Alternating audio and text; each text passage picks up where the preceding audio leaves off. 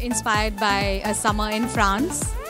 And um, I think that's the reason we had lots of roses and the colors were nice and light and pastels. A lot of salmon pink and uh, powder blue and uh, frosted almond. So overall, it was a nice light summer collection. You know, a lot of weddings are happening in the summer now. So that's what it is. And we have a gorgeous Namita walk for a walk for us, which was like an icing on the cake.